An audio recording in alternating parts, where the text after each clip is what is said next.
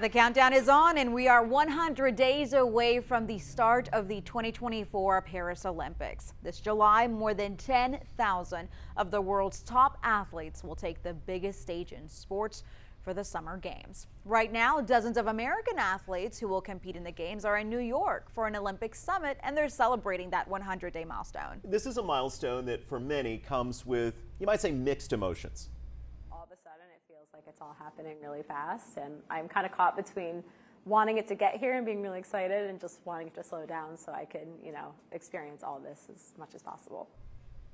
Meantime, the host city making final preparations. The centerpiece there on the River Seine hosting the opening ceremony. This week, France's President Emmanuel Macron said that France has backup locations planned if security threats arise.